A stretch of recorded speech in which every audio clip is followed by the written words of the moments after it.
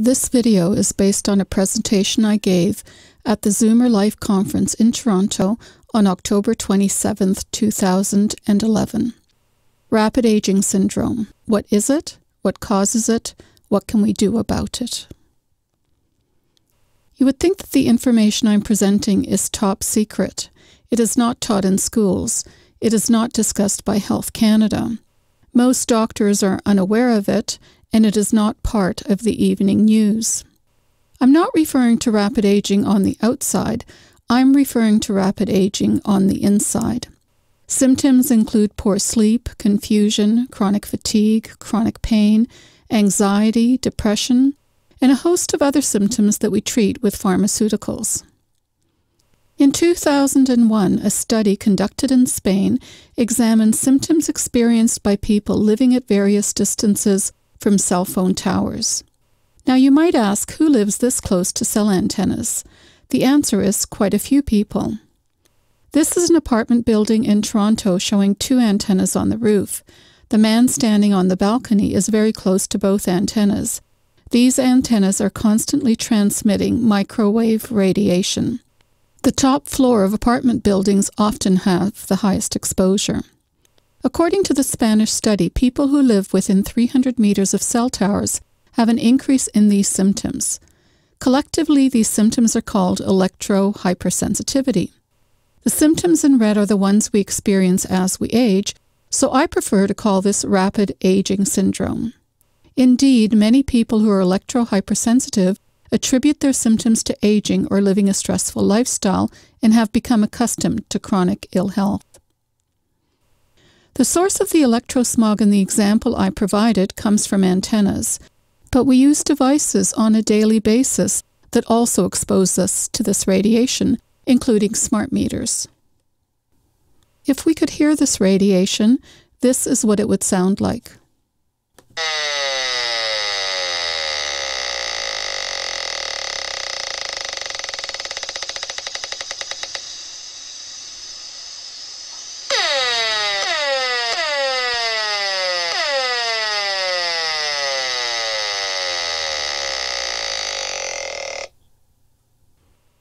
Notice anything unusual in this picture? The plants near the smart meter are not nearly as healthy as those further away.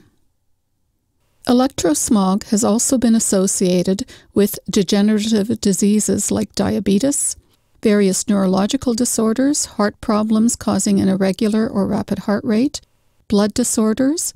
It's been shown to affect sperm, and it has been associated with various types of cancers. Degeneration starts at our cells, and here is an example. I took a blood sample, placed it on a slide, and placed the slide under the microscope. This is what my blood looked like in my home, which is electromagnetically clean. After I used a computer for 70 minutes, and after I talked on a cordless phone for 10 minutes. The blood cells are sticking together and resemble a stack of coins. This is called rouleau formation and indicates unhealthy blood. It reminds us that aging starts at our cells. Here is another example of how electromagnetic energy can affect blood cells. This time I laid on a mat that emits pulsed magnetic fields. After an 8-minute treatment, instead of my blood clumping, most of the cells are free and are not sticking together.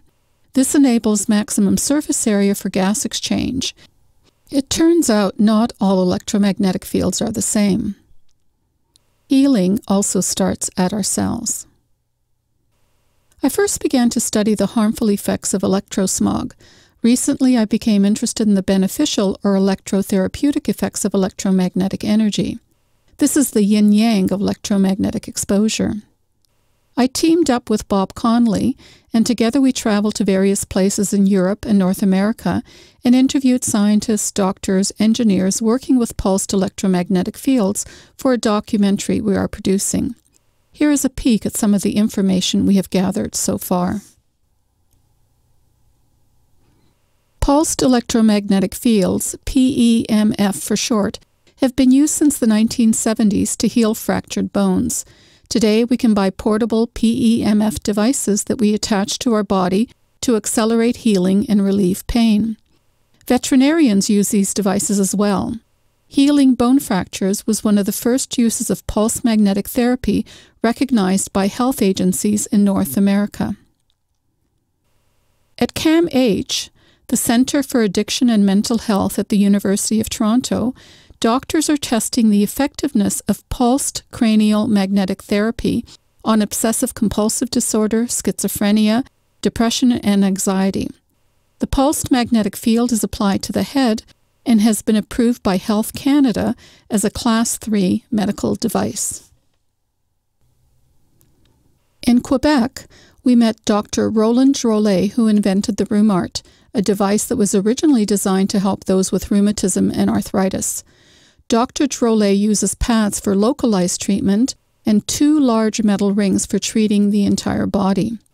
This device received a Canadian patent in 1983.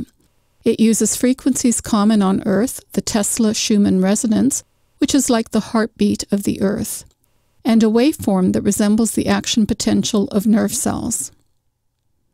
We took the Rhumart for testing to the Bioenergy Med Metabolic Institute in Pennsylvania, where Dr. Jeff Marrongelle uses electrointerstitial scan to measure the bioimpedance and to assess imbalances in the body. Here is one of his patients. Two electrodes are attached to his forehead, and he has his hands and feet on metal plates. A weak current is passed through the body, which indicates imbalances in the fluid bathing the cells. The day we were there, this patient came in complaining of chronic back pain, and the scan showed that indeed there was inflammation, shown in red, in various nerves along his spinal cord. The patient received a 10 minute Rhumart treatment and stated that he felt an 80% reduction in back pain. An immediate follow up scan showed that the inflammation, areas in red, had disappeared. Two weeks later, the pain had not returned. We also went to Europe. Switzerland is the location for the World Health Organization, and they have access to highly advanced healthcare technology. In Switzerland, we met Dr. Thomas Rau, who runs the Paracelsus Clinic, a world famous clinic known for treating difficult cases. Dentistry is an important part of this clinic. Instead of using pharmaceuticals to reduce pain, Dr. Rau uses pulsed electromagnetic fields. After dental surgery, the patient places his head in the middle of a round cylinder that pulses electromagnetic energy and eliminates pain. The cylinder can be used on other body parts as well. In Lugano, Switzerland, we visited the factory that assembles the IMRS pulsed magnetic controllers. These devices are commonly used in healing centers across the country, where patients come in several times a week for treatment. We then went to Liechtenstein and visited the chief executive officer of BEMER. They produce mats that emit pulse magnetic fields. While we were there, we were introduced to the work of Dr. Rainer Klopp at the Institute for Microcirculation. Dr. Klopp is able to document live blood cells moving through blood vessels in the body using real time videography, as shown here. The blood in some vessels is not flowing smoothly, it looks like a traffic jam. This is what the microcirculation looked like after a BEMER treatment. The blood is now flowing smoothly. You can see it again here, before treatment on the right and after treatment on the left. A treatment that improves circulation is going to benefit the entire body. The BEMER also affects the behavior of white blood cells. White blood cells are an important component of the immune system. After treatment, the white blood cells can be seen crawling along the inside wall of the vessel, which enables them to better detect receptor sites that indicate infection. Here is rare footage in slow motion showing one white blood cell migrating into the surrounding tissue.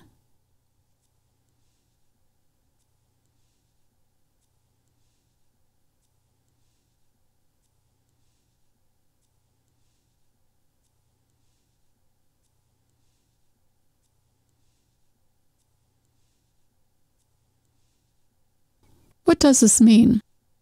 We have evidence that exposure to therapeutic pulsed electromagnetic fields reduces blood viscosity, improves blood circulation, benefits the immune system, promotes healing of bone fractures, fights depression, and reduces pain.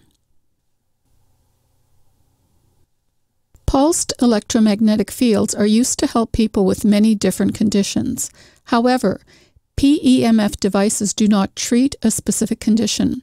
Instead, they optimize the body's natural self healing and self regulating functions. Why is this not common knowledge in North America?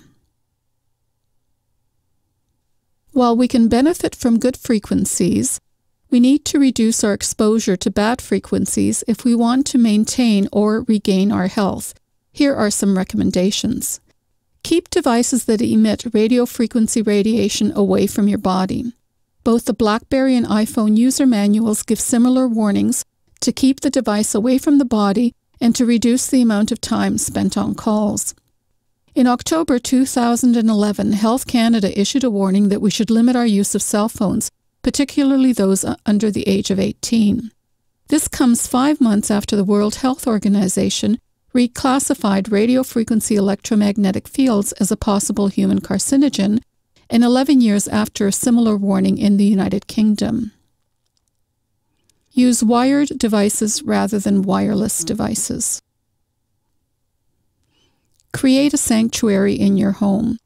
This canopy contains silver fiber that reflects the radiation and is particularly useful if you live near cell phone antennas. Other products have similar effects. Filters plugged into electrical outlets can reduce your exposure to dirty electricity. You can use silver to protect your body when you are away from home, not in the form of jewelry, but in the form of silver fiber, which is placed in underwear and in the lining of coats and jackets. Very sensitive individuals may need to have their entire body covered in some environments. A silver lined burqa would be ideal. The only thing missing are glasses to protect eyes, which are very sensitive to microwave radiation.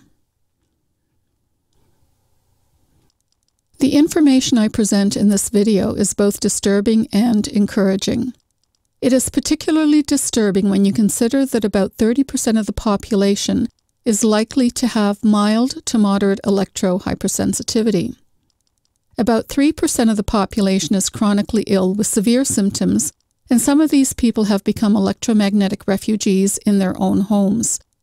It is also disturbing because levels of electrosmog are going to increase before we have appropriate regulation to control it. Of particular concern are the powerful 4G and Tetra antennas. It is encouraging because we are beginning to better understand how the body heals, and certain therapies are promoting healing rather than masking symptoms. It is encouraging that Health Canada and the World Health Organization are limping in the right direction. And it is encouraging that the media is beginning to bring this information to the public's attention. We all have an important role to play if we want to ensure good health for ourselves and for future generations. We need to remove Wi Fi from schools. We need safer guidelines that recognize non thermal effects. We need to educate doctors and other healthcare professionals about electrosmog, electrohypersensitivity, and electrotherapeutics. We need to prevent antennas erected near residential areas, hospitals, and schools.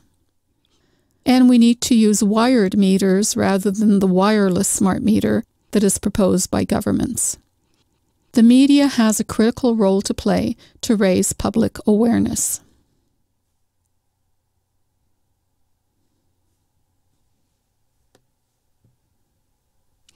Within the next 5 to 10 years, the information I present in this video will be self-evident.